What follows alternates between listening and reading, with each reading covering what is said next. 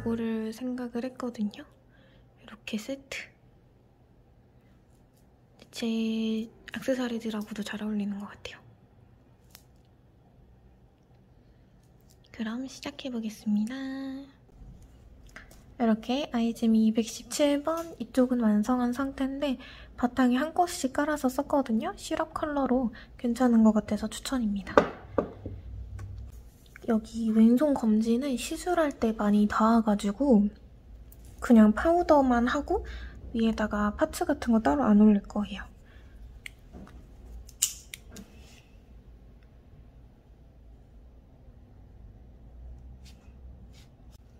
이렇게 예물 파츠가 들어갑니다. 이거 너무 예뻐요. 조금 가격대가 나가긴 하지만 그만큼의 값어치가 있는 바탕 베이스 컬러도 아이지미 217번 바르고 차차 생각을 해보고 일단 이렇게 해보도록 하겠습니다.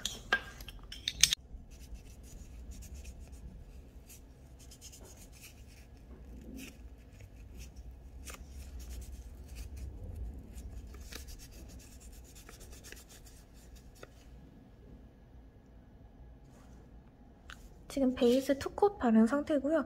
여기 중지는 중지는 간단하게 랩핑을 살짝 해두었습니다. 그럼 일단 엄지 빼고 이거 4개는 확정되었으니까 4개 먼저 해볼게요. 램프도 새로 샀어요. 제니퍼.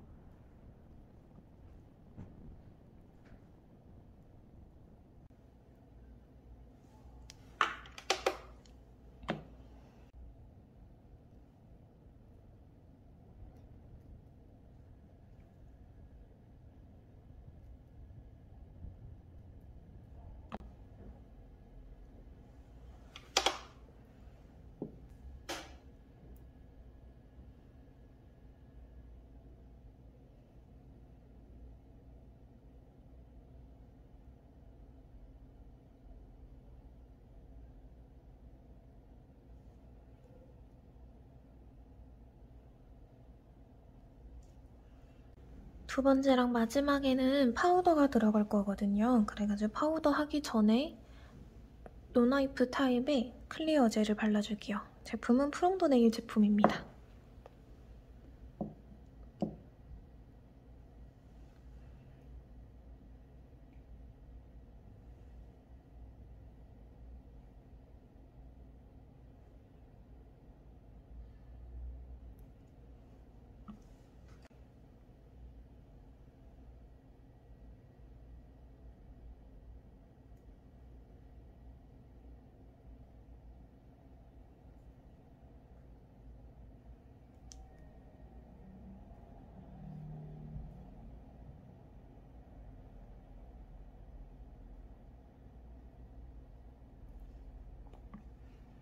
이번엔 curing 60초 해줄게요. 지금 60초 cure하고 나왔고 지금 사용할 제품은 마법사 네일의 광채 파우더입니다. 광채 파우더인가? 진주알 파우더인가? 사실 이름은 잘 모르겠어요. 산지 조금 된 제품이어가지고 요즘 파우더 되게 이런 느낌 많으니까 그 중에서 아무거나 사용하시면 될 것 같아요. 전 여기가 양도 많고 뭔가 넉넉하게 주는 근데 품질도 좋고 그래서 애용합니다.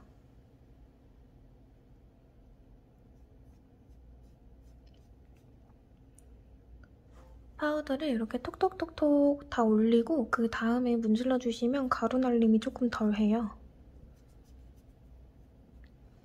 문질문질 끝났으면 손으로 한 번 더 완벽하게 밀착해서 문질문질 해주시고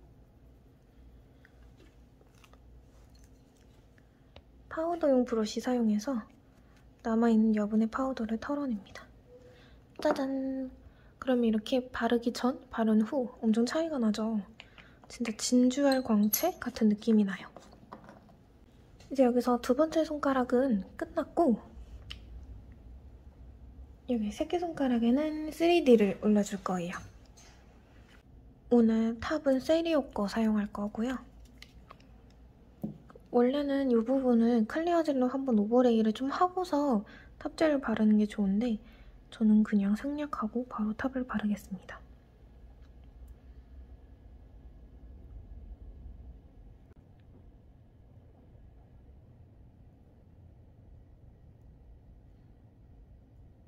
저는 이렇게 생략하고서 그냥 해도 제 손에는 유지력이 잘 나오더라고요.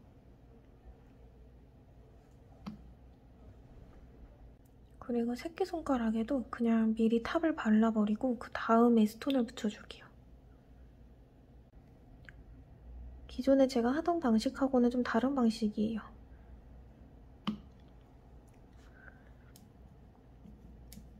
이렇게 큐어를 하고 나왔으면 이 부분에다가 V컷 스톤을 올려볼 건데요. 지금 제가 사용할 V컷은 스와로브스키 V컷이고 사이즈는 PP24 사이즈입니다. 정말 참깨 같죠? 완전 조그매요. 여기 지금 curing을 마치고 나왔고요. 여기에다가 이제 V컷을 붙여볼 건데 V컷은 푸딩글루 사용할 거고요. 스와로브스키 V cut 사용하겠습니다.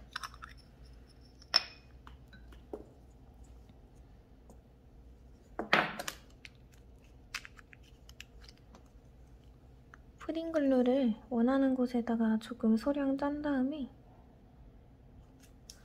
아주 소량 짰어요. 이렇게. 왜냐면 지금 붙일 V컷이 아주 아주 작기 때문에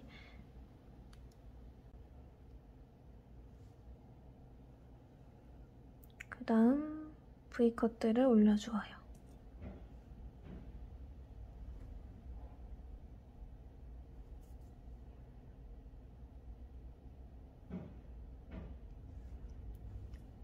짠! 이렇게.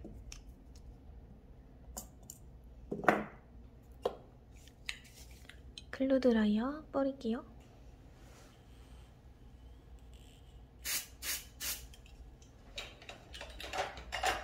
그리고 그 사이사이를 그냥 어차피 조그마니까 이 탑젤로 대충 채워볼게요.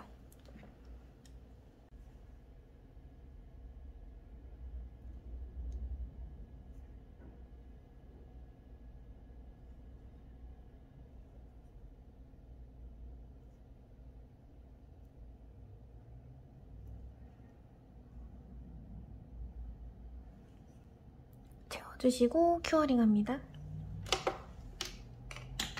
음, 영상이 안 찍혔는데 지금 요거를 했거든요. 이렇게 스와로브스키를 덜어가지고 픽스젤만 발라서 붙여놓은 거예요. 옆에서 할 거니까 다시 한번 해볼게요. 여기 중지 같은 경우에는 체인을 한번 감싸서 할 거예요.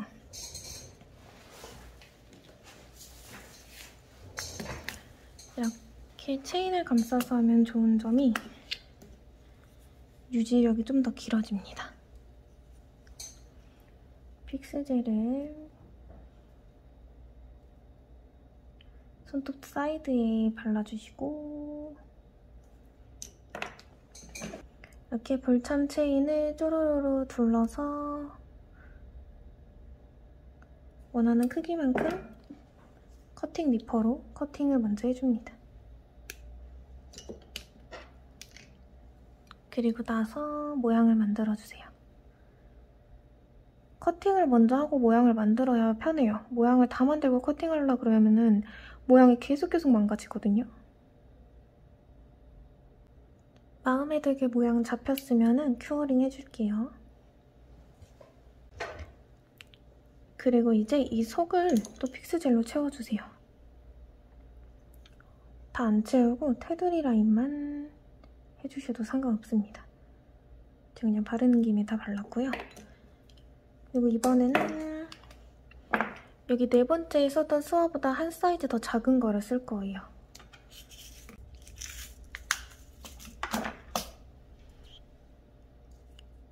이렇게 시작과 끝에 하나씩 올린 다음에 하나하나 올려줄게요.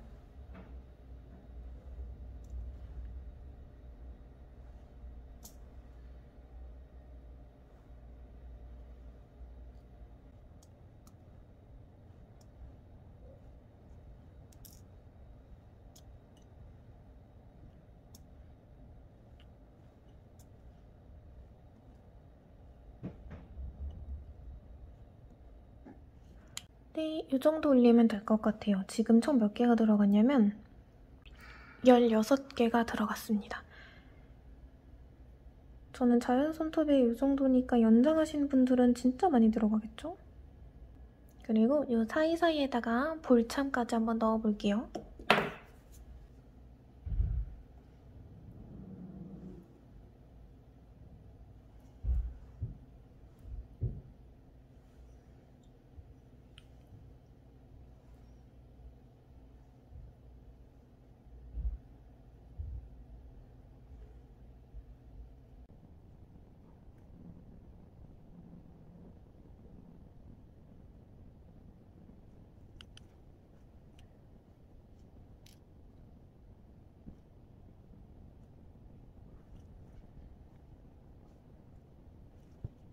벌창까지 다 넣었으면 모양을 한번 예쁘게 만져주고 그리고 curing 할게요. 지금 curing 돼서 나온 상태고요. 바로 crazy top 사용해가지고 마무리까지 하겠습니다.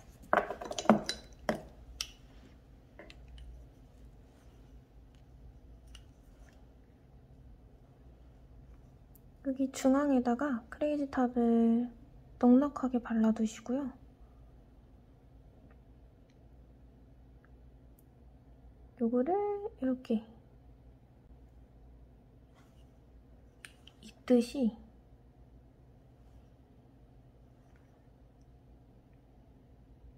이어서 볼참과 체인까지 모두 같이 한 번에 둘러주세요.